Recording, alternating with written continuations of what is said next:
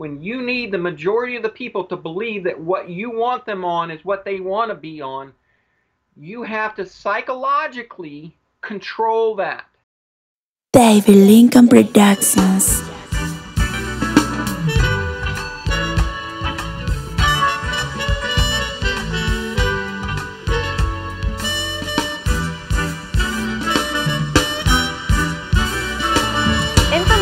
Contained in this video is for educational purposes only. Everybody's financial situation is different, so some strategies covered in this video may not be appropriate for you. Trading in leverage products is risky and should only make up a small part of an overall investment strategy. To become a better trader, you need to take personal responsibility for any trading losses. Views of people being interviewed are not necessarily endorsed by this channel. We try to present many opposing views and let you decide.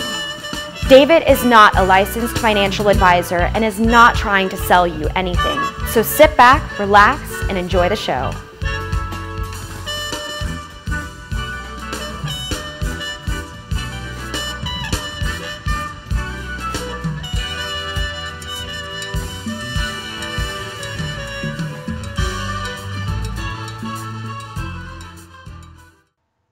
Hello, uh, welcome to the show. And uh, today I have with me uh, Erin Scott.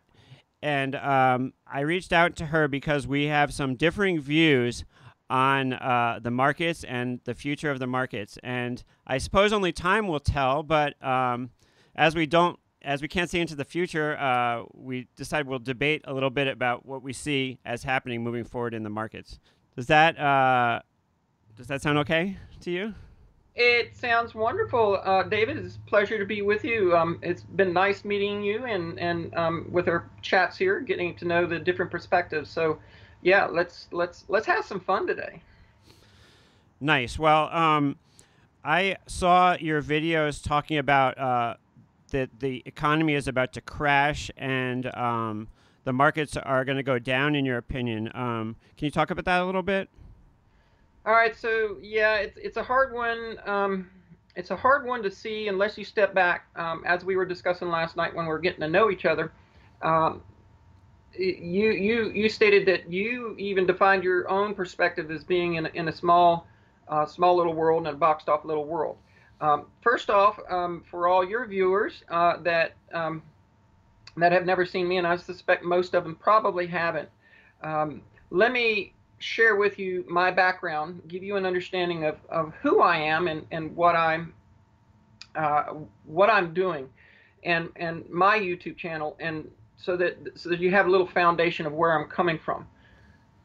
I am knocking on 50 years of age. I am a mother and a grandmother. Um, I have, uh, for the first part of my career, worked as a surveyor and civil engineer. Um, not a tough place, uh, not an easy place for a woman to come up in, in in in all the possible career paths. Uh, generally, our society holds those um, those uh, careers for the the male side of things. But um, I did. I liked it. I enjoyed it, and I was really good at it. Um, I spent, um, like I said, the better part of 20 years building a career uh, and at the top of my career, I was working in, um, uh, I want to say uh, the Bay Area, California. I was making nearly 120,000 a year as a uh, lead project manager at one of the top engineering firms um, there in the Bay Area. And in 2007 or December of 2007, going going into 2008,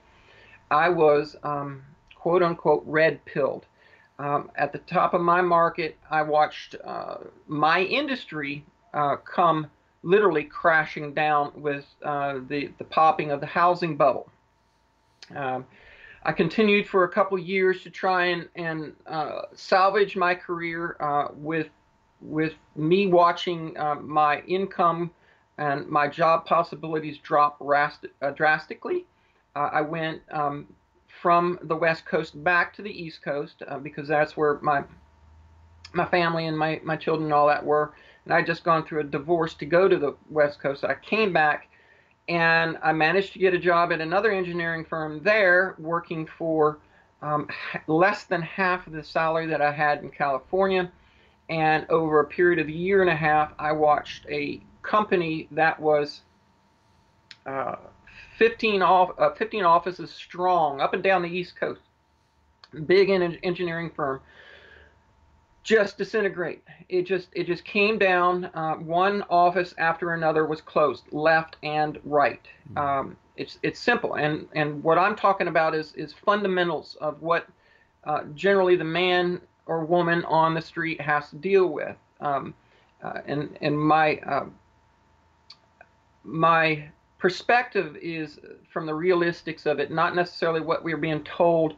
Um, what we're, what we're being told on the headlines uh, on the mainstream media because uh, reality is when you have to go to the grocery store how much does that uh, how much does that head of cabbage cost you and that's a, that's a big point i'm going to use this reference several times in our conversation dave that head of cabbage is is a determining factor for the quality of your life because it is what you need to eat now it's just an example and some of you may or may not like cabbage but the point i'm trying to make is the when you when you get uh, woken up to a, a, significant change in your personal paradigm, it forces you to reevaluate things. Now, being as an engineer, the way I am, uh, I have to uh, I have to be a contrarian. Uh, it is it is within my nature to always argue for the worst case scenario. Okay. Uh, and it will come across some of the things I say because people want to want they want to see sunshine and you know um, rainbow puking unicorns. You know you've seen that reference within the market before.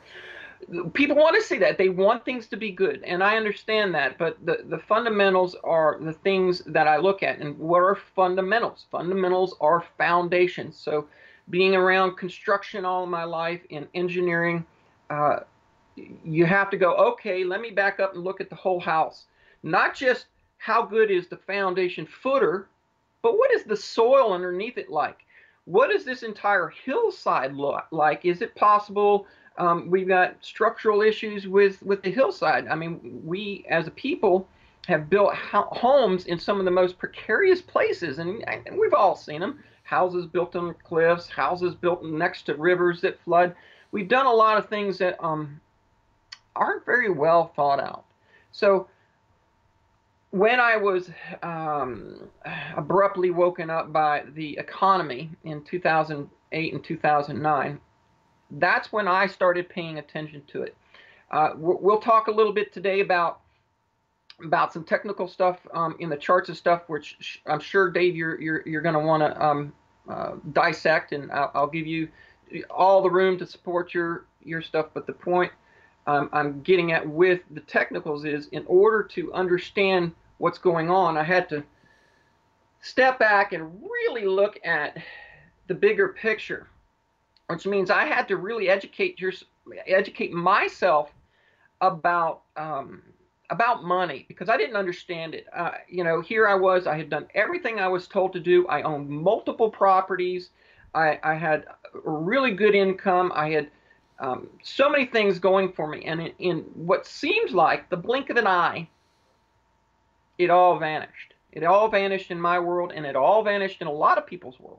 Not everyone, but those of us who did have have to deal with the issues and, and the consequences of where we were had, had positioned ourselves, especially financially. Uh, we we had to look at it, and we had to educate ourselves, and that's what I did. In doing so, from my contrarian perspective. What I observed through 2010 and 2011 into 2012, and as these years have gone on, as the is that the powers that be, the money managers, the, the, the Federal Reserve, the, the central banks, and the um, politicians that cohort with them, did not truly fix the problem. Therein lies the big issue. And as an engineer looking at the construction of our economy, I saw major structural faults occur. We our house got rumbled. You know, we we all felt it. We all knew what was going on. But nothing truly got repaired. We we we just started printing money. We you know the you know the banks kept doing the same thing that they were doing before. And there is an old uh, old adage or phrase, you know, um, when all you have in the toolbox is a hammer, everything becomes a nail. And well, guess what? They've been printing and printing and printing. The reason you saw such a, mm, a kind of warning, um, shocking kind of video that you picked up on, Dave, is because from your perspective, you're seeing things on the on the day-to-day movement, and right now, it doesn't look too bad from your perspective because you've got a lot of upside that you've been looking at for a long time.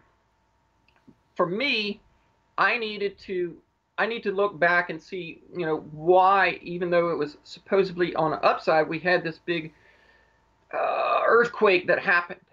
It was it was for me to understand what just occurred and why it changed my life because I lost all the houses I had, I lost my career, and I lost um, lost a lot of things. And so I did I did some research, Dave. I, I went back and I started looking things from a long term perspective. And I'm going to tell you, I mean, uh, I'm very learned about a lot of this because I've been intentionally studying it, but I'm no expert. Um, I am still learning on a day to day basis. And for your subscribers, the ones that work with you and follow you, hold on just a second. Sure. Same thing. You're, yeah. You're, yeah, you're following this perspective of the markets and, and your hope that your investments will continue to go on. I'm going to make a suggestion for your subscribers and and and it's to me you know i can't reinvent the wheel and when somebody does something so well um, you know there, there's no need to redo it so i'm going to give kudos to somebody who who has put together some of the best presentations when it comes to understanding our monetary system and how it works and his name is mike maloney and and he um, he he's a uh, owner representative of goldsilver.com. He put together starting back in 2011 or 2012 a series of videos called Hidden Secrets of Money. And I'm going to greatly encourage um, all of your viewers, those who, who have not had a chance to see it, to please go watch the entire series. It's going to take a while because there's a lot of information to absorb, but he has put this information into a perspective that is easy for the common person to grasp. Because you don't understand. Uh, the people behind the monetary system have intentionally made our system confusing. You know, Dave, for as much as you've had to deal with taxes, just how uh, crazily impossible is to file taxes and to deal with the different tax codes. The whole point of it is to keep you off your feet and um, off balance so that you can't see the bigger picture. You're too busy trying to stay on your toes to dodge uh, the, the, the, the, their rules of the game so that you can um, so that you can um, uh, not go under like I did. And, and it's challenging and it keeps you from, from focusing. So with, with my understanding I had to reevaluate things. And I started relooking at all of our systems from an engineering standpoint.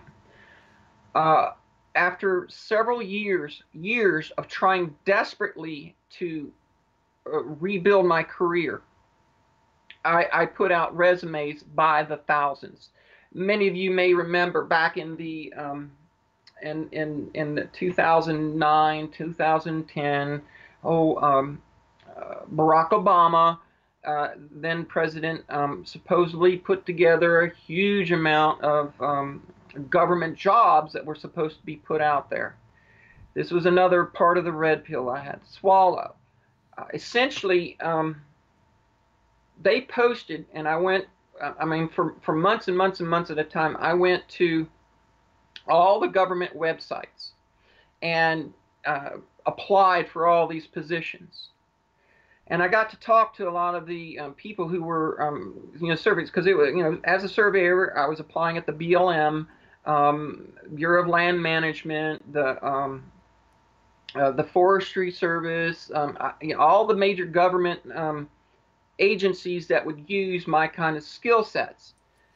And unfortunately, what I was told by a couple of these um, a couple of these guys is, um, yeah, uh, they told us to put the ads up. They posted ads, but they have not given us permission to actually hire people yet. Wait a second. But Obama's saying that, you know, he's fixing the economy. Well, didn't happen. Um, you start to you start to see the lies. You start to when you start to fight through this from a position that I was in, you start to see that it's not really there.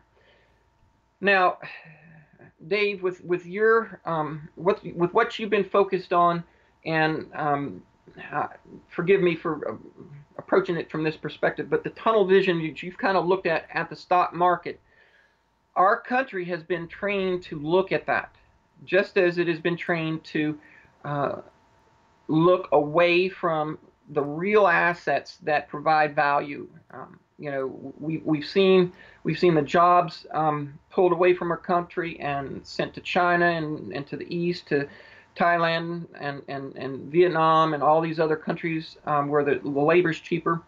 Um, America no longer produces uh, anything like what it used to back in the 40s, 50s, and 60s, where we were uh, a very booming economy.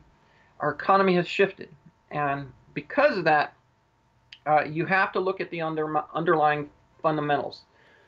We are a consumer economy. And as long as we see numbers going up, um, we have belief and faith in this thing called um, uh, the, the, stock market, or what I refer to and others refer to as uh, digital illusions of wealth. Uh, because quite simply, uh, if if some of the things occur that have been suggested, um, such as EMPs and and grid um, grid problems, grid down, because uh, because we, will we'll talk about like you know uh, the cryptocurrencies. Where is our where's our monetary system going? You know, uh, we'll, we'll get into those kinds of things, but you have to have technology, and our, our, our grid system is, is, is very fragile. Um, if you pay attention to any of the news and headlines about what's going on uh, with with some of the conditions, I mean, you you you see it with our uh, infrastructure, you know, our roads. Everything is getting old. Everything in our country has not been repaired. Uh, a lot of the things that were promised by Obama when it comes to um, putting money into our infrastructure. It never happened. We didn't fix our bridges. We didn't fix our our grid system. So it's all weak, and we're sitting on a very fragile system. And all it takes is one little thing to to upset uh, that apple cart, to to undermine what foundation you think you have, and for the whole house to come tumbling down. So with with that I started trying to help people. I started back uh, when I lost my career. I went and re-educated myself, and I and I went into um, solar. I saw, hey, what kind of technical thing, engineering thing can I do? And I and I and I took um, took some courses, learned up, got to know how to um, to work with solar, and I started my own company when I moved up to Montana, Scott Solar, and started learning how uh, not only learning but installing um, solar and how this grid system worked.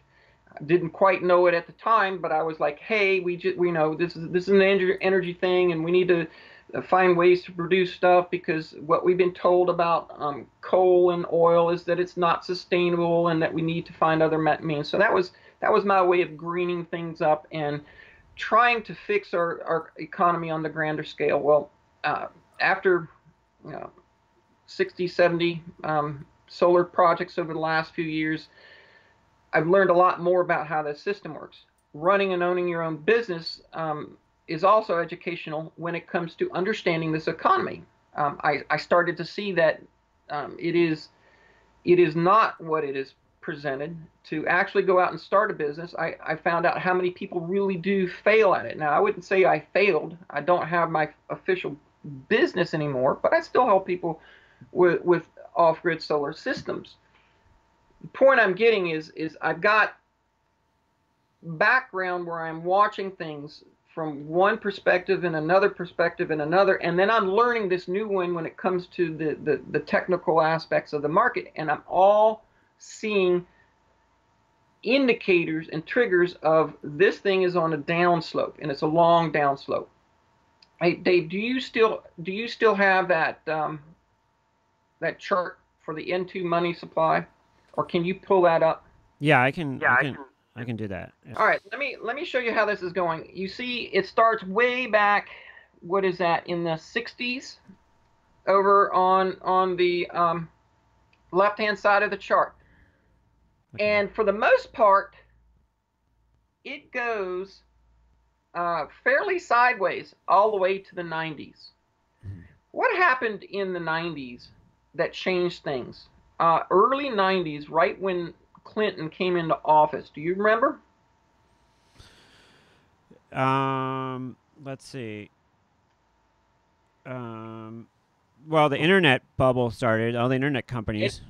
that started that started too the other the other two factors that caused this money velocity to start increasing were two things.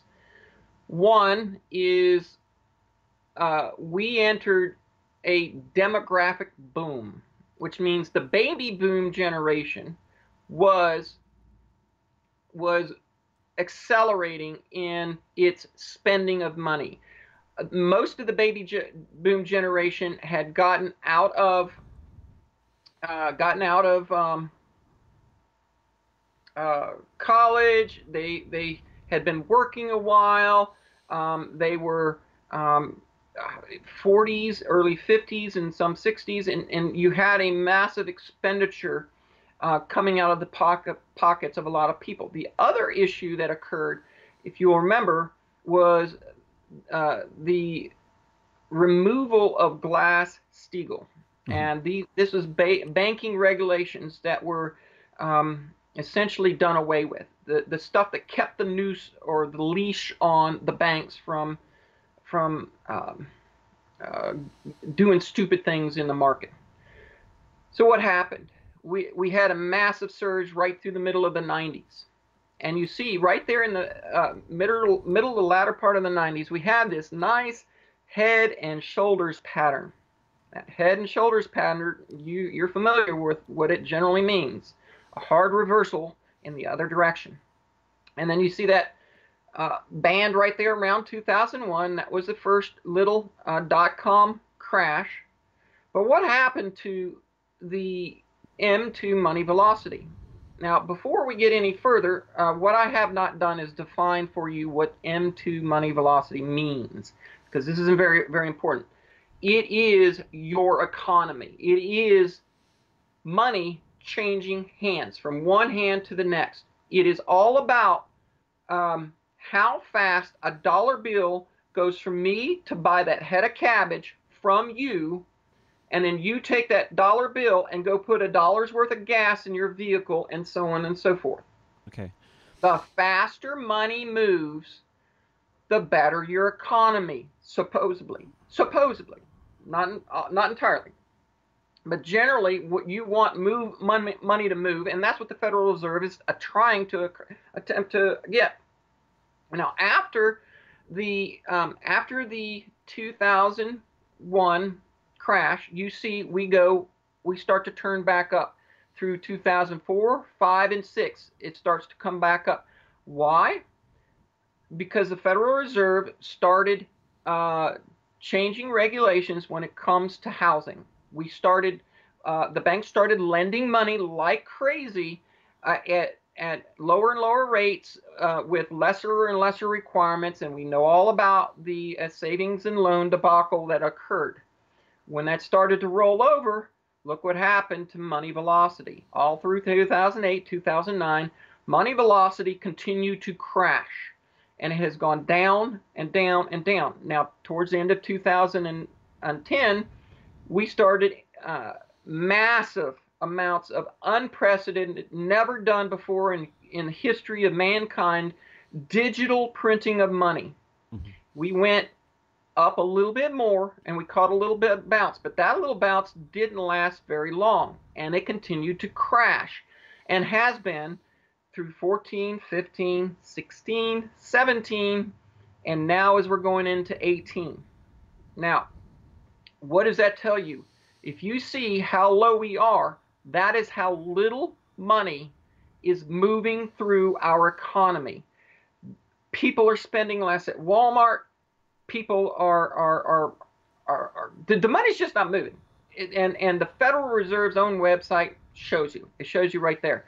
Now, here's where we're going to go with a couple of the references that I shared with you earlier.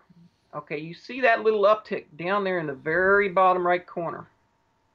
Yeah, that one right there, that little bit of uptick. That's a little scary. And let me tell you why. Let's go back to uh, that head of cabbage. Right now, you can go to the store and and and uh, yes, some food prices have gone up, but you've heard a lot of screaming about the potential with the money printing for hyperinflation to come about. It hasn't yet. Therefore, a lot of people think, oh, yeah, everything's just fine, right? Mm-hmm. Well, I'm not so sure about that. Um, considering that we have a tremendous amount of digital money on the bank's books, uh, many that I follow already believe that we have printed and created all the money that we'll ever need to have the hyperinflation event that is now occurring in Venezuela. Venezuela is going through hyperinflation. If you follow the local news or the, the, the national news, and a lot of our mainstream media will not uh, show you that, about this, so you have to go to other media sources on the internet. But that same head of cabbage in Venezuela is like 30, 40,000 Venezuelan dollars right now. Okay. Wow. Uh, you know, in 2008, Zimbabwe, you may have heard about that. They went hyperinflation. Greece is doing it right now. Uh, Ukraine's doing it right now. Uh, we can go through a, a lot of other cr- countries where their paper currencies are entering or have entered the hyperinflationary wave that they have to go through and that we all have to go through because of our lack of essentially physical silver and gold backing. Let's go back to this little uptick right here. I believe that based on everything that I've learned that I've and I've been taught, when this next event occurs, the central banks are going to turn on the spigot by either printing more or the banks are going to um, do something to to kick that up, to to really uh, ramp up the, the the flow of money in order to try and save the remaining part of this economy. I think some policy is going to occur, whether it's more QE or uh, whatever it is, to cause that that speed of money to pick up. And when that occurs, we're probably going to see here in this country the same effects as what's happening in the others. The only reason we haven't seen it yet, Dave, is simply this. Um, we have had the luxury of being the world's reserve currency. We've done that because we have we have had uh, the uh, petrodollar, and because of basically by point of gun, we have forced all the other countries in this world to to go on to the petro uh, dollar, which means other countries, whether they wanted to or not, had to buy dollars in order to buy oil. Mm-hmm. Well, a, w- a little over a week ago, on 26, that changed drastically. Uh, China introduced the petro yuan. Now, up till now, every country that has done that and tried to go back to a gold back or some other monetary system to get off the dollar, what's been the result of that? I don't know. Ask Saddam Hussein. Ask uh, ask Gaddafi. Ask these ask these Middle Eastern countries that um, were supposedly terrorist countries, but we just went in there and wiped them out, and and and by point of gun said you're not going to do this. It's um it's a hard one to look at. Like I said, there are so many different things that you have to uh, make yourself aware of in order to in order to um, in order to, in, in order to really get the big picture, the big understanding. So let me do this with you now. I'm going to go in here and I'm going to take something. And this is a Google image, so anybody who, who's watching the video now, please, um, you can pause it and you can go look at this. If if it does not um, come up on your screens well enough, um, let's see. David, can you confirm that you see that? Yes. Yeah. Okay. So I'm sharing my screen. What we're going to do is we're going to walk through this uh, cute little image that was put together, and I don't know by who, but uh, it's called the Wall Street Cheat Sheet. And you can Google this image, it's really easy to find. But basically, it talks about market cycles. Okay? I want you to look at that. And I want you to notice something because if you can see my cursor, it is my belief that we are sitting right here. Now, I could be wrong. Uh, for your sake and all of those who do have their life savings and invested in into the, the current stock market, the ones that have been forced to via 401ks, 457s, on all these different Roth IRAs and stuff, you know, unfortunately, um, it may not be good for you. It, it may not, because based on the cycles that I'm seeing, I believe that the stock markets are sitting right here because we have had all of these issues, these emotional states transpire up until now. We started out back in 2009 at disbelief at where that cycle had just come from. We had come down hard. Hmm. And then in 2010 and 2011, it started to get a little hope. Hey, yay, everything may be saved.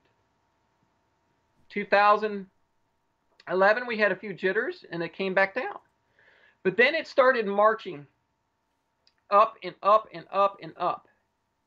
And my real question to you and to everybody who is invested what truly gives that market value?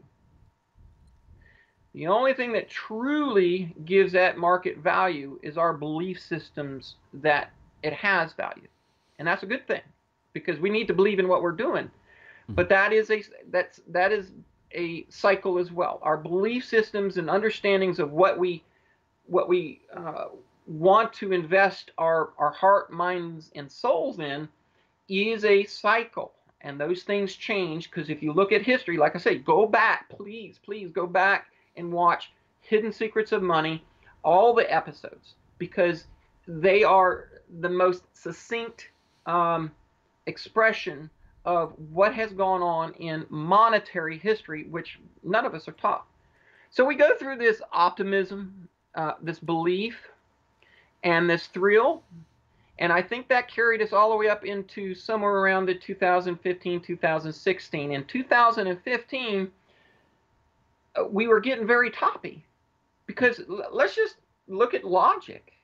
Dave, uh, if we were and referred to uh, quite frequently within the mainstream media as being in a bubble in 2007 2008 mm-hmm.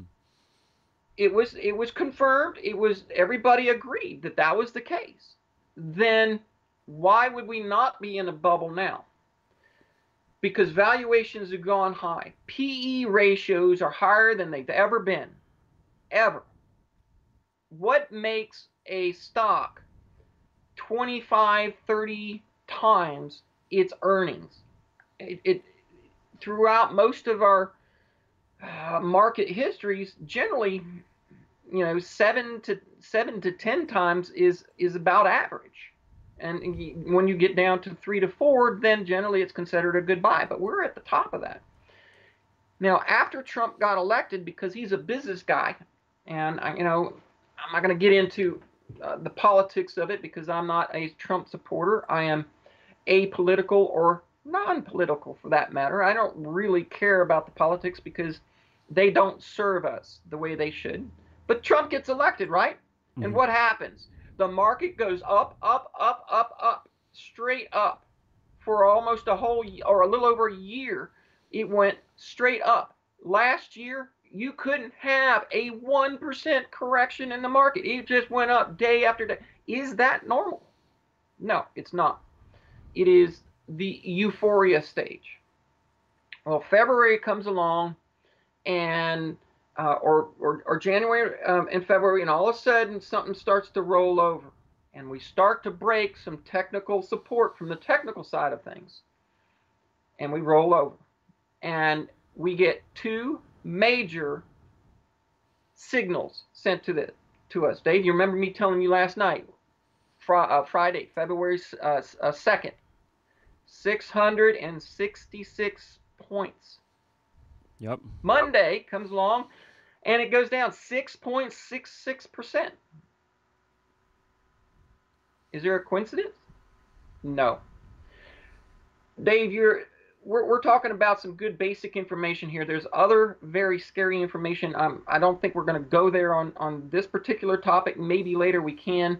But the point is, um, we got some really evil people in charge of our system. Um, and a lot of people aren't going to want to believe it. And most of the people who have awoken to some of the um, corruption that is within our system um, have found out some very, very scary things um, when it comes to the um, corruption. Uh, like I said, we will we'll stay away from that topic today because it, it will get touchy, and um, I want to I want to stick to the, the, the mathematical engineering side of things. So here we go. Uh, we get some signals sent to us. There are messages, and I believe that was right here in this section of that chart. And then for the last two months, we've rolled over like this, right here in this section. Okay? And like I said, we are right here in this point.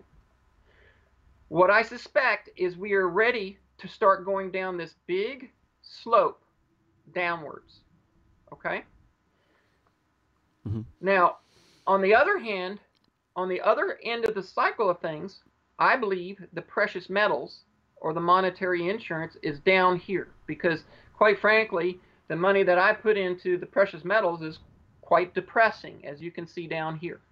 I believe it is very uh, depressing to see that I bought ounces of silver for 35 40 dollars and now I couldn't sell them at your uh, pawn shop for you know 16 you know that kind of thing but let's let's go on here I'm I'm setting up the the uh, the scenario for you let me close this one and I'm going to bring up um, here we go this is uh, NetDania. Many of you, uh, your subscribers, are going to be very familiar with this. And again, I'm going to give you a disclaimer. I am only sharing with you my mathematical engineering perspective on what I'm seeing here.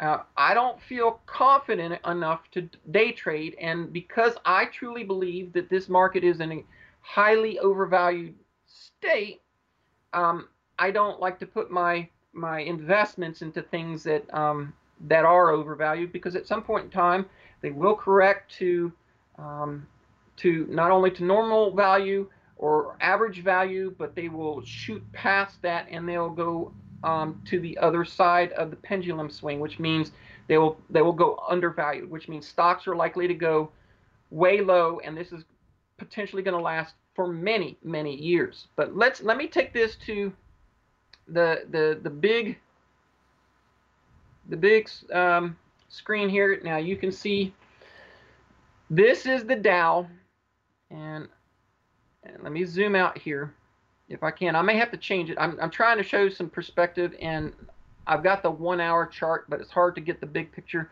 I want to show you some support lines. Uh, most of your uh, subscribers understand a lot of the different technicals from the Elliott wave to uh, the Fibonacci's and all that. Um, uh, I'm not an expert on it. I'm still starting to wrap my head around that. But one thing I do get is support lines. Okay. And what I've been watching, and the reason why I put these uh, last couple of videos out over the last couple of weeks is I see us compressing down to this one point of inflection. And I see it via the support line. So you've got a major overall support right here that we are currently testing, as you can see, testing that. Now, when when when a price of an item is in this scenario, uh, generally you are in a bull market if you're continuing to make higher highs and higher lows. Well, for the last few months, we've been making lower highs and lower lows. And every time the market tries to test upper head over resistance, it runs into problems. I was originally looking at this because I'm concerned about this area right here, okay? Because it is set up as a major support. And if this support breaks, then it will be that free fall that I was showing you on that Wall Street cheat sheet. So right now we've managed to break up and you can see where we've tested this line several times. Uh, and it looks like this is the third time we're testing out. Okay? Mhm. You notice it's it's it's real real funny the way these these these lines work, the way this stuff is um, coming together. I'm not going to say uh, I understand it fully, but you know, you, you you catch these touch points, and then you see where we had a little trouble right here, breaking through it, and then we get up to this line and we struggle through it, and then we come up and we come down and bounce off of it, and then we punch through, go back up, struggle a bit more, come down, touch this one, come up, struggle, come down, and then go back up. Uh, my suspicions are we're going to roll over. For those of you who are in the market, yeah, I would hope for your sake that it continues to go up because it needs to in order to um, in order to stay in its long-term bull market. However, again, this is just the last few weeks and the last few days. I want to take you. I'm going to change the the time frame here. I'm going to take you out to the four-hour chart so that we can start to see what I'm talking about. And I'm going to zoom out far enough so that you can really see how this almost perfectly overlays that cheat sheet sh- chart. And we we start coming up all last year. And then early this year, we stepped out and we broke down. Right here is February 2nd. Right here is February 5th and then the next day we had a lot of bouncing right here. And then what did we do? Roll over, and now we're coming down to what I believe could be that point where we could break through. Because the fundamentals in our economy are uh, not what they are put off to be, because um, I'm watching um, conditions on the street, people that I knew um, uh, just not just not having it. I mean, if if if our economy truly had a strong foundation, you would be getting headlines after headlines of um, Sears opens or hires 5,000 more. Um, Apple puts out, um, uh, you know, opens new um, facility hiring so many thousands of people. But you're not seeing that. The the the headlines we've been getting is Sears and Kmart are closing uh, this store shut, uh, this company is shutting so many stores. That company is shutting so many stores. Um, this kind of um, negative news, negative news, negative news. That's been happening for the last few years, which tells me I don't think we're in the middle of the up wave. I think we've rolled over and we're about ready to really go down further. So that's the bigger picture. Um, huh, it's a lot to say.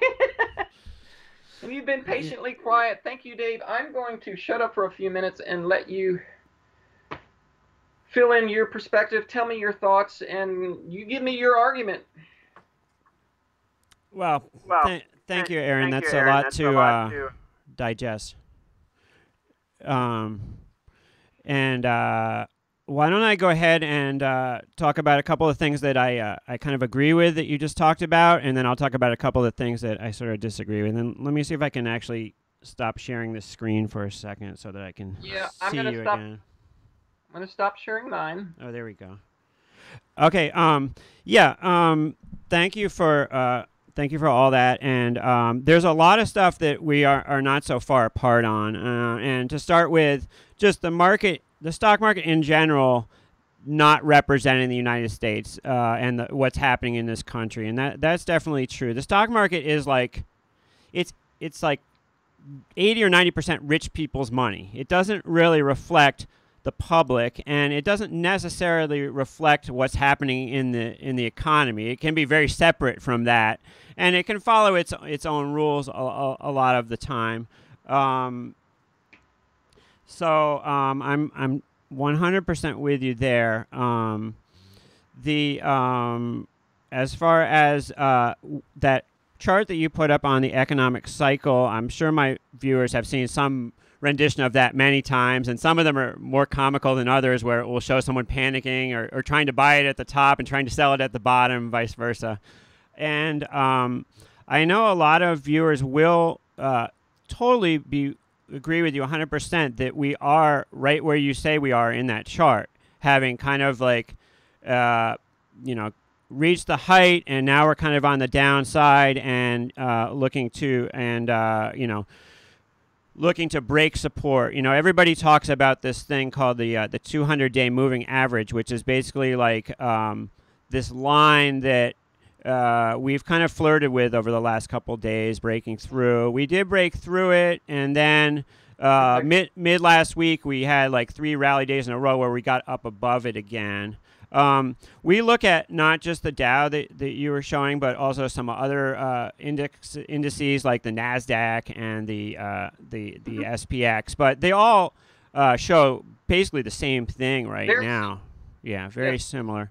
Um, and I also agree with you totally that uh, everybody should check out the Mike Maloney videos because that is some uh, very uh, uh, interesting stuff about money, and uh, I, I will try to link to those below. Yeah, Uh, yeah. Hit, hit the secrets of money. It's it's it's, it's incredible. Um, as far as um, PE ratios, I am not a real big.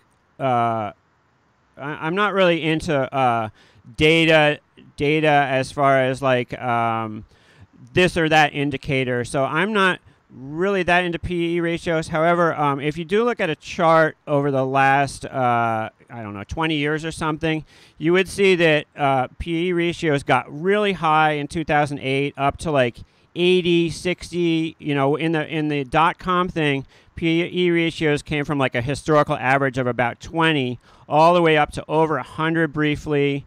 Uh, in like 2002, 2003, also they got up to around 60. And actually, if you look at them now, they are lower than they were during that period of time. They are like just over 20. So um, they're not showing right now the. Uh, and, and, and the other thing that, that I would say, as far as that I agree with you on, is is a lot about uh, what you've talked about with the crumbling infrastructure of the United States, the uh, the lack of job creation, the you know, however much good news they tend to give us on television, uh, the average person isn't doing so great, and they don't. They're not seeing any of this translation, and even if the stock market were to go up, they don't participate. You know, it's the it's the few. We've also seen, uh, you know, the um, wealth being concentrated among just a few people in in the U.S. and uh, th- that's troubling as well. Uh, what I would say, as far as uh, w- my question would be, uh, well, for one thing.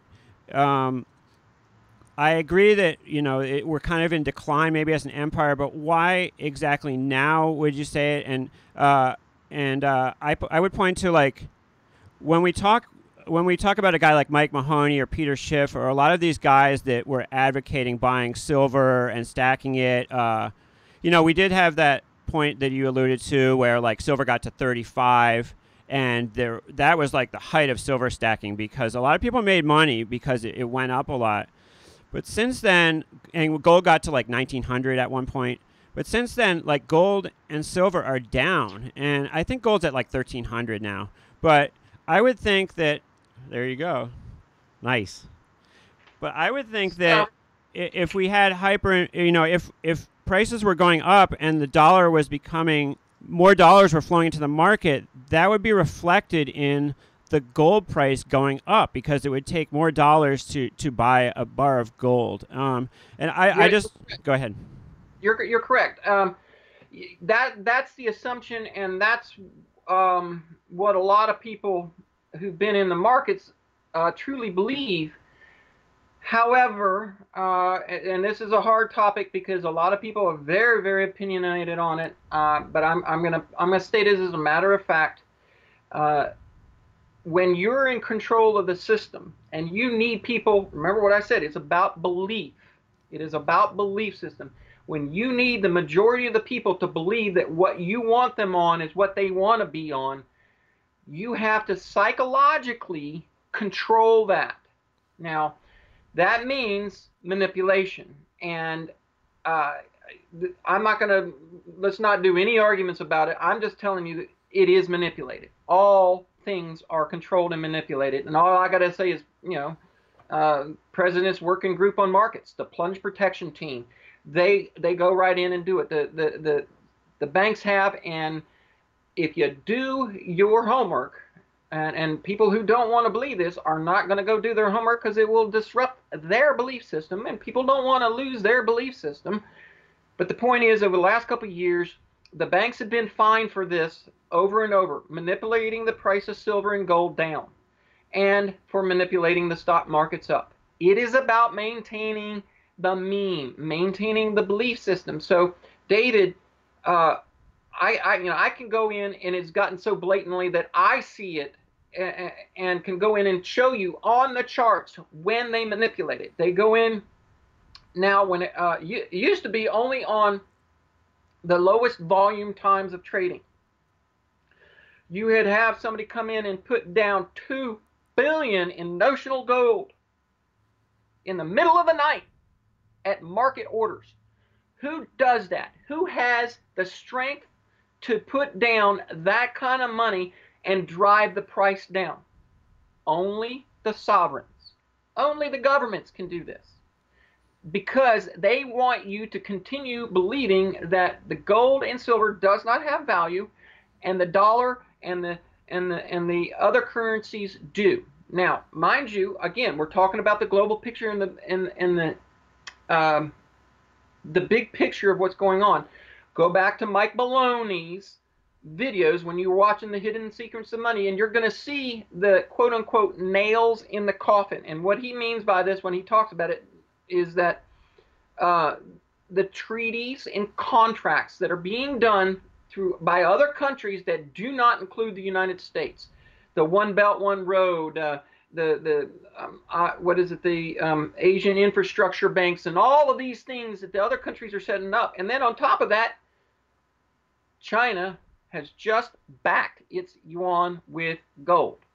Now, it's not uh, redeemable at this moment because they're waiting for the global currency reset to her, happen, but they've done it, and so has Russia. Now, they have not done it with us, and they have not um, uh, put it out publicly, but the contracts are working, and people behind the scenes that deal in large, large gold contracts people that I watch and, because they're the experts to me, like Bill Holter and and um, uh, God, I'm going to lose his name.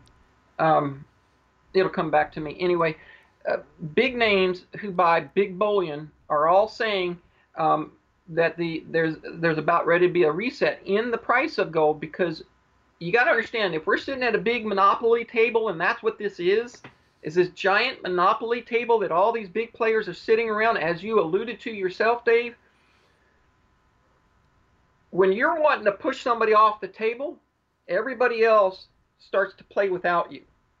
Eventually, to the point where they're working against you. And that's what's going on right now because of the corruption within our country. If if our government had flown true blue and honest without the use of force and kept their their their their their their money printing, you know, restrained and such, it may be a much different story. But what has every president done here for the last uh, 30, 40 years? They take us to war. They we we we're about death and debt, you know. So we got to be um, we got to look at this big picture. We, we we have to stay focused on that, Dave. I definitely agree with you that um, you know, the government is controlled by the donors to the political parties, and uh, they are about um, making money off war a lot, a, a lot of the time.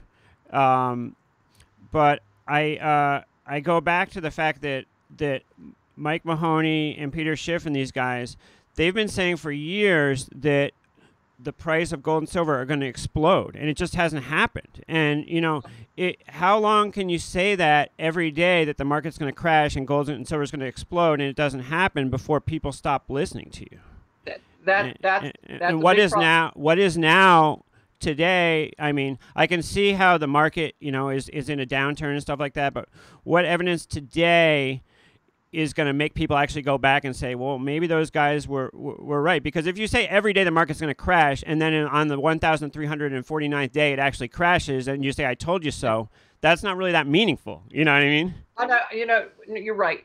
This, all right. Here's a challenging thing for all of us who have been the watchmen, so to speak. Let me address that point uh, rather specifically. It is hard to understand time in these cycles because you and I are human beings, and some of these cycles extend beyond our existence. It is hard for us to comprehend that, to- that time. Yes, being in the prepper and the homesteading communities now uh, for the last 10 years in a big way, uh, I've met a lot of old guys that started prepping back in 71, um, 71 when we came off the gold standard. They were, oh, it's going to collapse. And it almost did in 79 and 80. For, fortunately, back then, they still had the ability to control certain things. This time, I don't think they're going to be able to control certain things. Um, and for all intents and purposes, you know, the table is going to have to be wiped clean, a clean slate and start over, which means everything goes to zero except real tangible assets. And and the reason why I, I believe that so strongly uh, is because, uh, like, let's let's just toss into the cryptocurrencies. I think that technology and the blockchain technology is incredible stuff. It's gonna it's gonna free us up from a lot of corruption potentially. It has the potential to free us in a lot of ways unless the central controls get a hold of it. However, you can't have a, a cryptocurrency. Uh, you can't pull it back out here again. This computer that we're talking on cannot work unless you have this. Those stock trades and charts and everything you look at cannot exist unless this is this is there.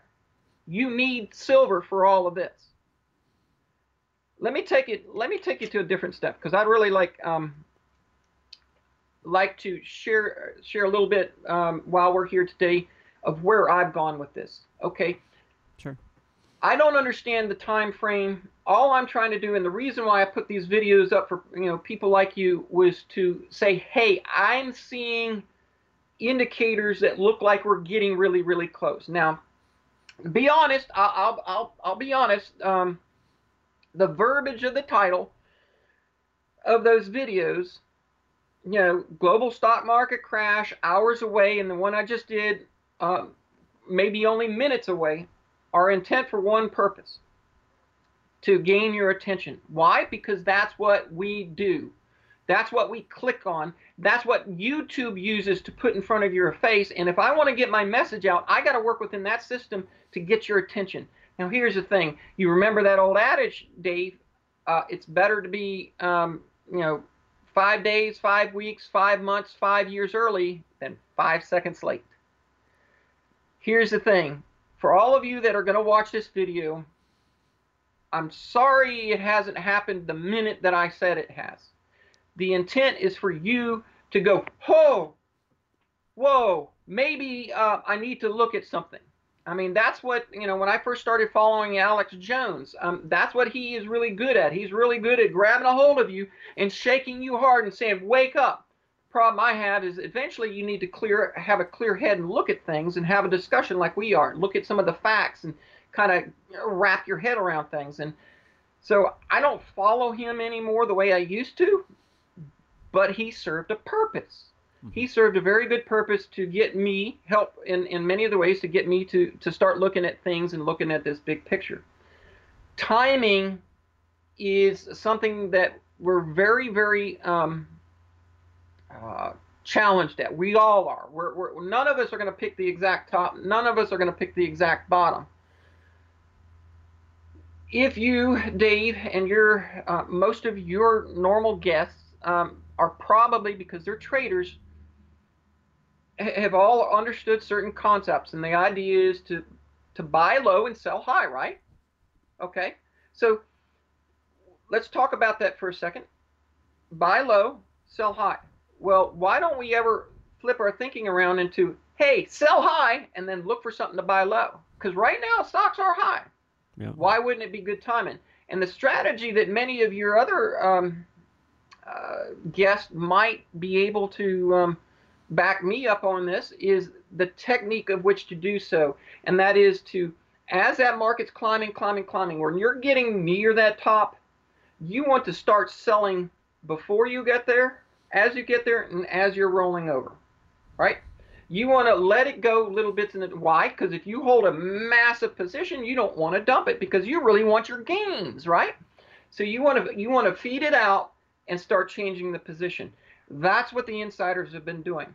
So let's go to the let's let's go to um, where I took this and what I'm doing with my channel. Yes, I have been putting out these warning videos, but it's because I can get um, subscribers. And matter of fact, in the last week, I've gotten like 600 new subscribers like that, the most I've ever gotten with these. That's amazing. Videos. I mean, it is it is quite um, uh, wonderful. You go through and read the comment section, and I've got a lot of people going, right on, Erin. We're ready for it. We're tired of this old game because we can't win at it. We're ready to clean the table and start over. Yes, it's going to be rough. But why did I do my channel the way I did?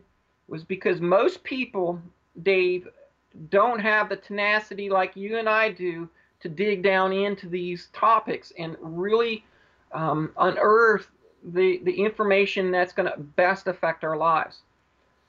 So because I'm an engineer, because I have um, so much other wonderful skill sets and knowledge, I started asking myself this question. And then this question I started asking in a lot of the prepper groups that I started doing talks about. And my focus has been about uh, hardening your personal systems. Um, your power system. That's why that's a big one. Power, power, energy, energy. It drives us. Having a way to produce your own energy um, is invaluable. It, it, it, there's there's there's nothing that can have more value than you having the power to amplify the things you want. Otherwise, everything is by hand. If I have electrical power from the sun, I can, I can do anything with the technology that we can. I can run this computer with, with, it.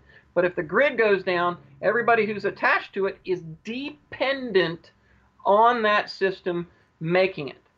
So I started sharing videos with people on how to get off grid with different levels of their systems. Um, and I re-engineer my system. And I actually live that to show you and I show you inside my world of how I'm, you know, cooking my food on a wood stove. The fact that I built a wood stove, the fact that I put a water jacket in the wood stove that has a thermal siphon system in it that uh, allows me to heat water with a few sticks of wood. I mean, we used to have these systems until we got the power grid installed it's a harder life. It's not easy for most people to comprehend. Going back to some some of those things, it's um, it gives you a different perspective. But in my videos, the primary thing I focus on is food production, because quite frankly, and and I don't think any one of your viewers or my viewers or anybody is going to argue too hardly about the fact that the food that they have been producing and providing for us is not good. Hmm. It's not good for us, uh, and we've gone away from um, we've gone away from uh, independence in our own food production. It used to be, and you're you're near the same age as I am, there, Dave. Um, our our moms and dads and our grandparents they had gardens and they canned food, right? right? Yep. Well, I do. Right now, I produce better than 92, 93, maybe 95% of my own food. Wow. Everything from everything from herbs for teas and medicinals and culinaries uh, to the vegetables. Um, my chickens, my turkeys. I was um, raising up in Montana hogs and goats, and as soon as I can get a piece of land here, I'm going to be um, bring those animals in as well. And the idea is this, and this this is a question that I asked myself, and I started asking everybody in these prepper groups, and that is, okay, all the scary, frightful stuff. Now you got to think.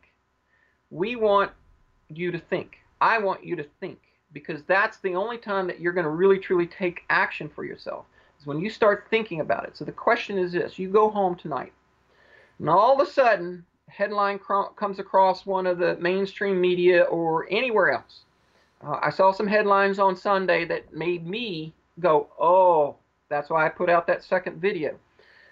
The war cards are being, uh, the sabers are being rattled. The war cards are being talked about.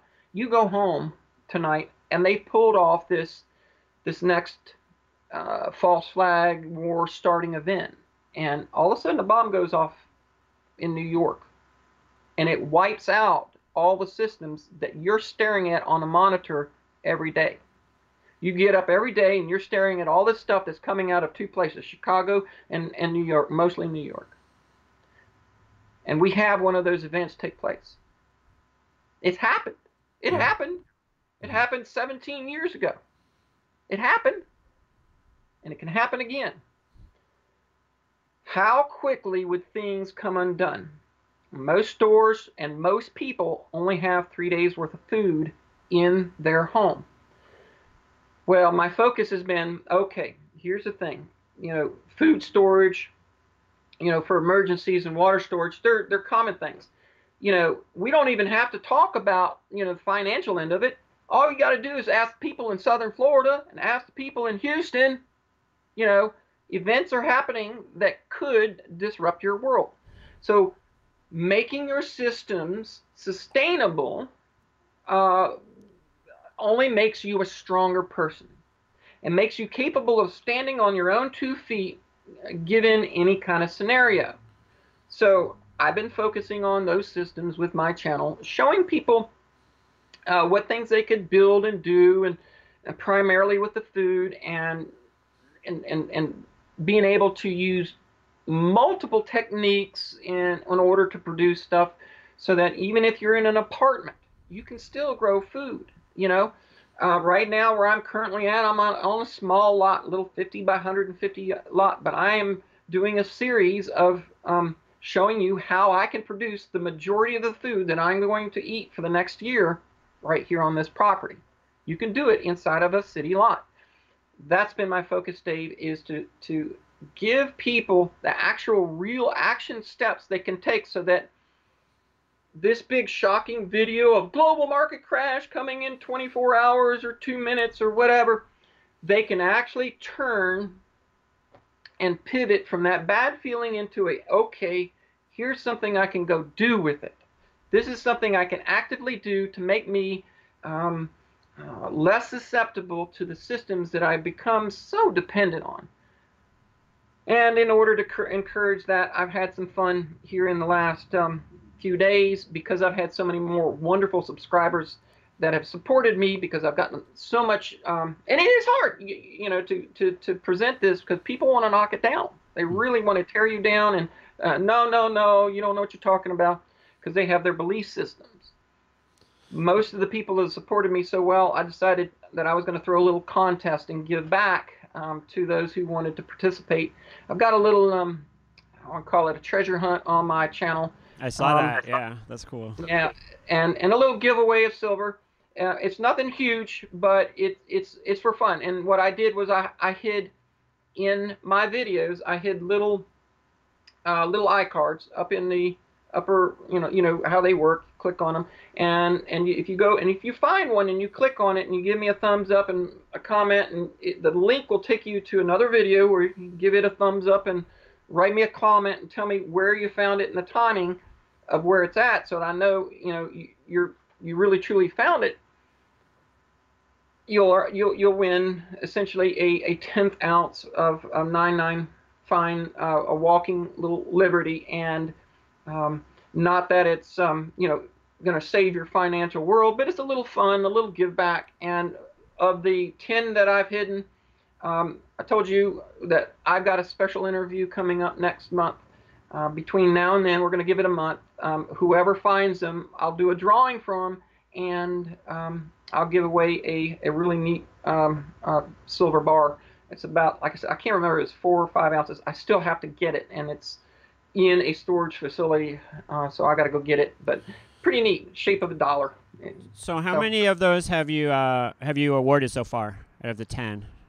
Any uh, of them? None, or? none. Okay. None, none, none have been found as of right now. Um, none have been found. I've got. Ooh, I may have to go on there and start looking today when I get off.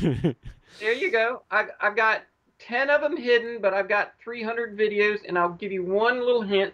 They're towards the older videos, so I want people to go dig. The idea is for you to dig.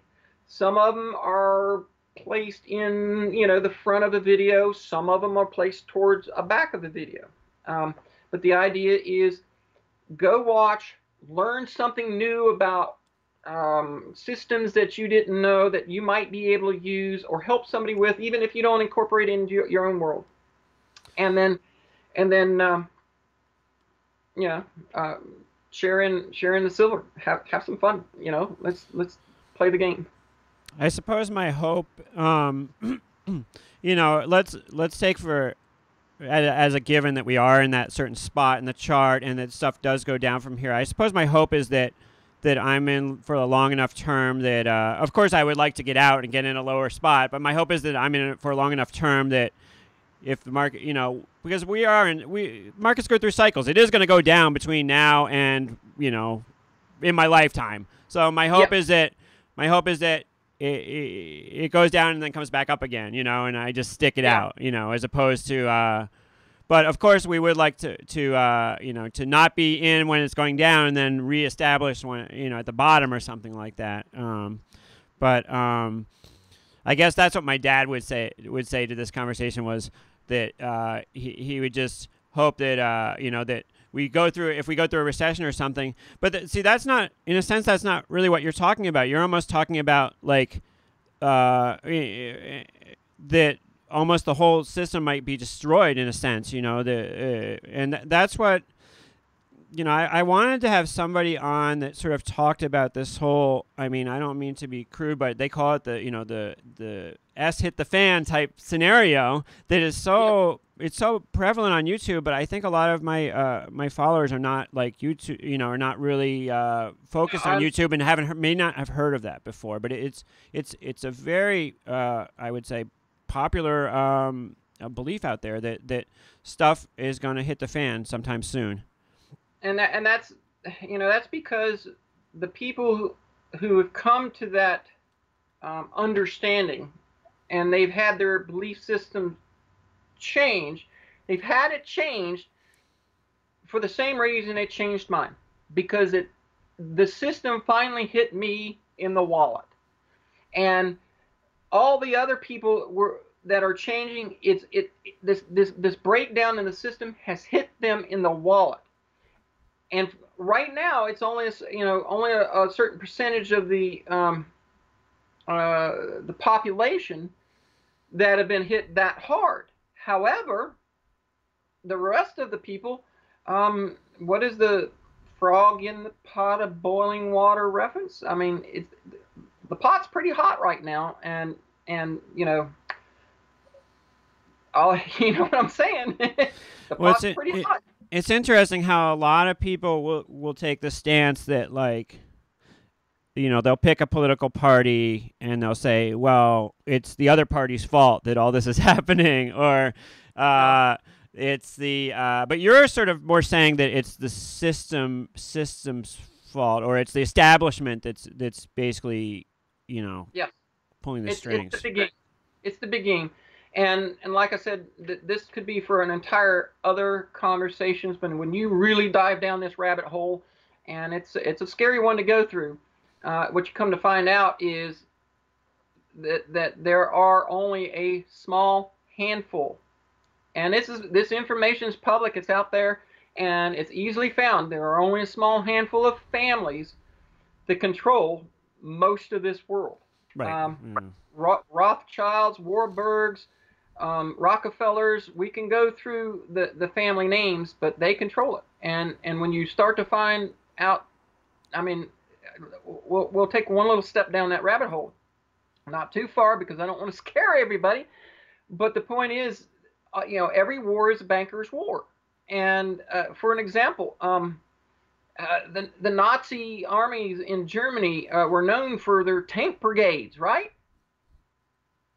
I mean, history will say uh, Germany had the biggest tank uh, divisions, and they rolled all over Europe, and they, I mean, it was advertised how good their tanks were. Where were the engines for those tanks built? Detroit, folks.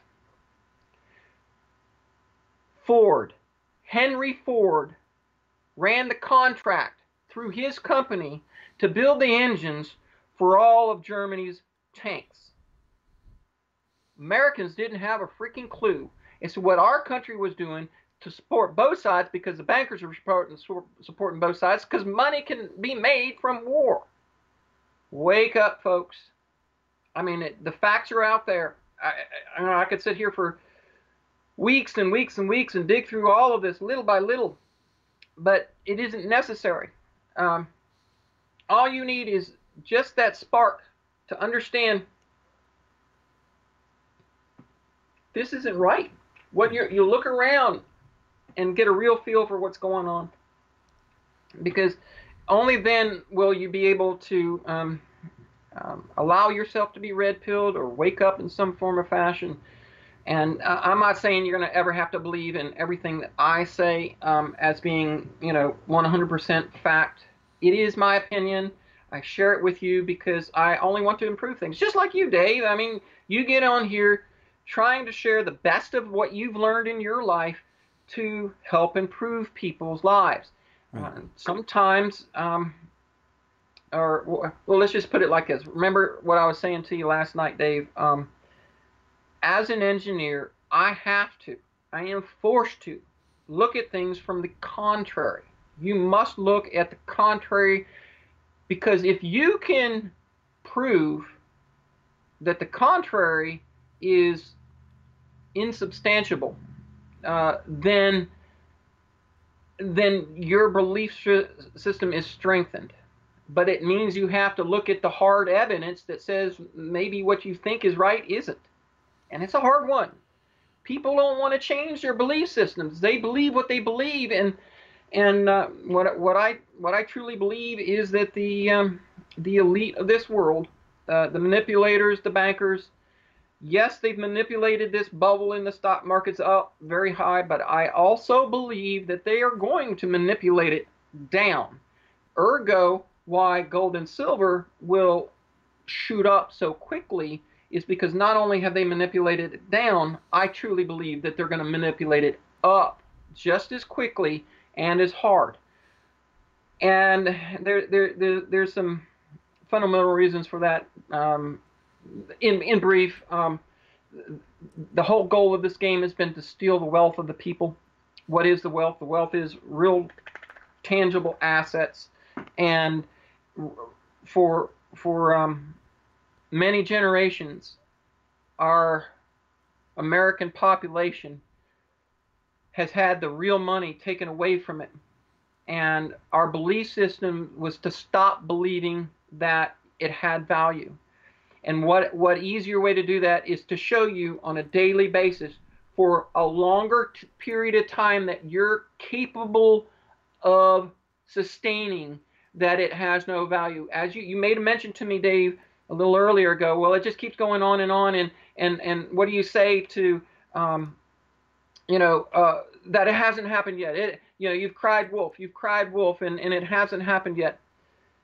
That you go back to that um, chart, that that Wall Street cheat sheet, and right there at that little bottom, you've got that depression, and it's it's capitulation. You you you, you turn it loose and some of us in the um, the gold and silver um, world have watched a lot of extremely hardcore people who were um, uh, supporters of um, precious metals literally throw in the towel. When you see that, when you see it posted on on on YouTube and all the other social media that I'm giving up, I'm selling all my gold, and I'm going into cryptos because that's the ride up. That's when um, that's when I think the bankers know, hey, we've pushed it as long as we can. That is why I'm seeing all these um, compression waves in the charts. Everything's squeezing down to this point of focus. It's the same thing with the um, with the with the stock markets. They've all turned in my opinion, turned and they they've they've done their first dead cat bounce. You know what a dead cat bounce is?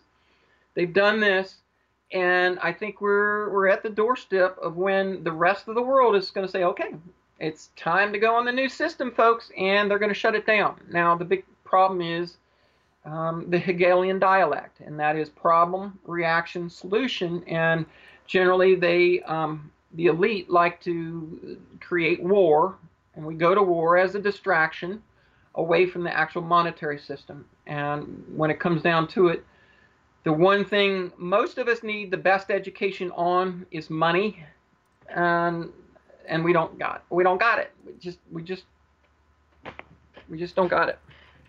When you say when, when you say, say when you say red pill, is that a reference to like the Matrix? Exactly, you got it. Okay. There's there's a lot of people using the using that reference. Basically, it is red pilling or, or giving somebody the red pill is the hard way of introducing somebody to the truth. Okay. Um, when when somebody takes the red pill, they are starting to accept that they're.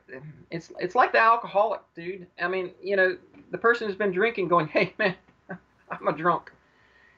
It's the truth. It's admitting to the truth because once you can do do that and you can um, accept that maybe your belief systems aren't correct or won't be correct at some point in time in the future, then you can start to affect change in your world. Then you have to uh, take responsibility for your actions and change something. And that's why I try and keep it simple with um, with with my subscribers and and and give them at least the simple things that they could do that are basically life supporting, you know, making sure that you have a good water source or you're connected to somebody who has a good water source. Why would you want to drink uh, city water when when they're putting chlorine, which is a poison, into it, uh, and fluoride, which is a poison? Uh, and you know, yes, you were lied to about these things, but they affect your health. You know, why would you do these things? Why not improve your life. Go ahead. You were going to say something. Oh, I was just going to say that um, you know I had I had a similar similar arc to yours in a sense in that 2000 I was working as a trader and I lost everything and it was it wasn't it was due to an economic turndown once again it was like the uh, the dot com bubble or something actually it was around like 2001 2002 and yeah. you know I had a six figure job uh, and was making all this money and everything was great and I lost everything. And uh, it was a it was a it was a big long long hard climb back. And uh, I think uh, you know those kind of things are uh, are uh, what define most people's lives. Not not every you know most people don't have that perfect you know everybody's got everybody's got problems and and uh, and you know it, it, it affected me in a different way than it affected you, but it definitely affected me as well. I mean, the, that's what's so kind of ironic about the stock market in that it doesn't it, it doesn't affect most people directly, but it affects people. You know, the economies affect people in a sideways way that they can't control. Yeah, it, again, it, it it's back to that that same point. Eh, you have to step back so much further than you understand. You really have to step back and step back and keep looking at a bigger and bigger picture to truly um, to truly start to comprehend it and grasp it. And you know, yes, you lost it all, but as you stated, well, this thing keeps chugging along, and it hasn't really broken yet. And they've managed to uh, patch the the holes in the balloon, and it keeps going up. And how, you know, how do you argue against something that you know most people? Well, this is what it is. I see it. Stock market's up. You know, well, only when you look at hundreds of years of cycles do you understand that. Well, yeah, it's up, uh, but let's figure out what history has said uh, indicates when it goes down, so that when we're when it's about ready to go down, we're ready for it and we're ready to be on the other side of the game when that occurs. And uh, you know, there's there's been a, an awakening in our country. It's it's been a slow prog- progress for a while, but I think it's really ramping up. Um, uh, there's going to be a lot of people who are behind the curve, but that is the bell curve. You know, um, I follow a lot of um, Clif High's um, work, uh, and he, he talks a lot about um, the introduction of ideas into society, uh, like with um, uh, industry, with the technology, and with um, uh, ideas, basically.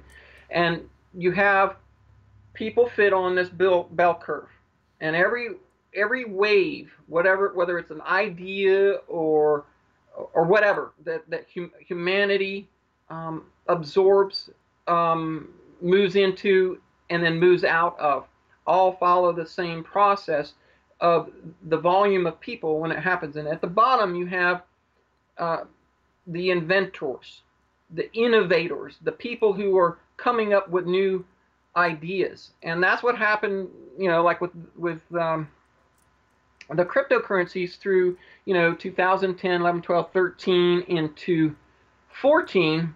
Um, uh, and then we're moving into this stage called the early adopters, and that's the next group of people um, going, hey, that's a really cool idea. I wasn't smart enough to do it myself, but I am smart enough to uh, see that that's that's something I want to do. They jump on the bandwagon, and then we go through this wave of early adopters, and that takes us from like the 0.1% to the 1%, and then up to the 2 to 3%. And like with the cryptos, we're about ready to enter this new wave of the, the the the later adopters into the mass adoption, and that's when it goes up. That is the cycle. It is the same cycle that we just just saw on the Wall Street cheat sheet.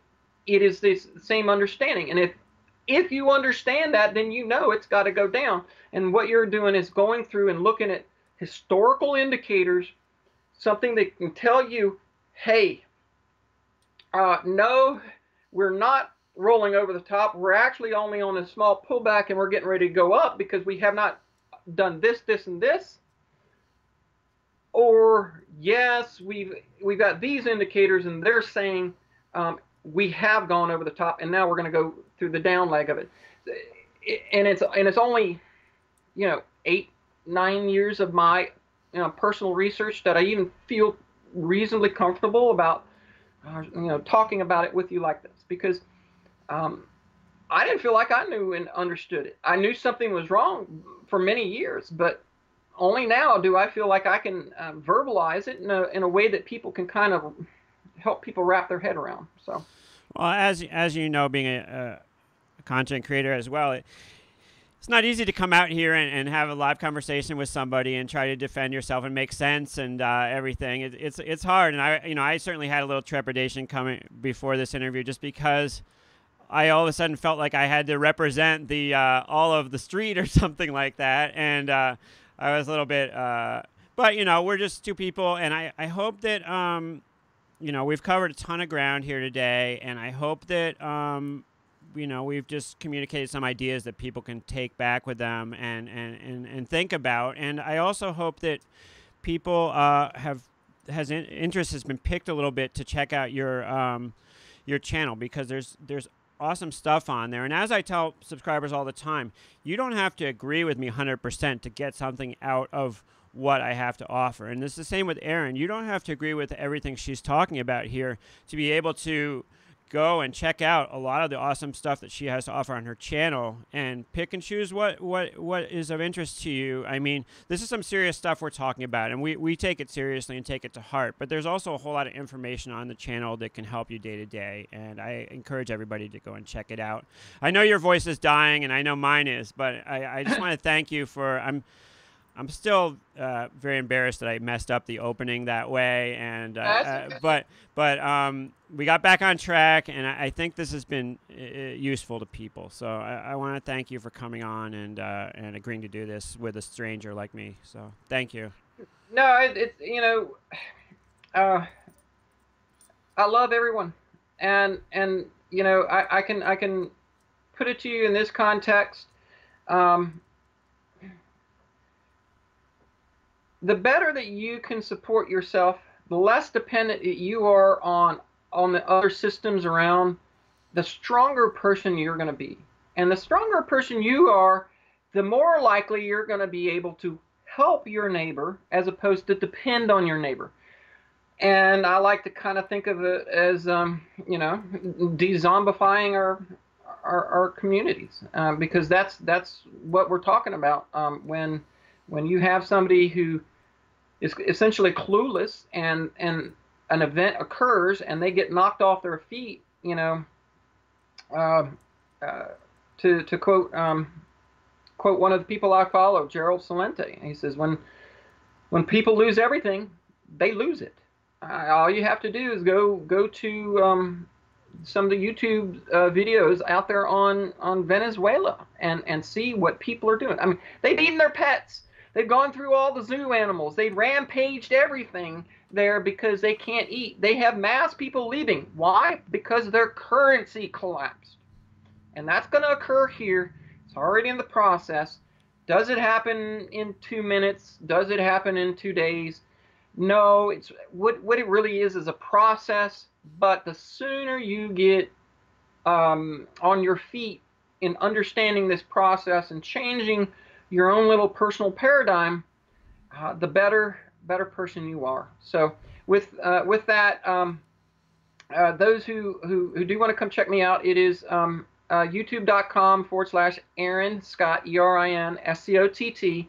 I also have um, a, a Steemit page. If anybody is familiar with Steemit, it, it's um it's a neat new platform. I like it. Um, that you th- some of the things that are going on with there, where you actually get paid um, cryptocurrencies to to put together good material and post it, um, and that is um, uh, steemit.com forward slash I think it is um, at Erin Scott Solar. I think it is. And I'll Erin link Scott. I'll link to that in the description too of the video, Yeah. so you can just look down below to find those those Yeah. So- references.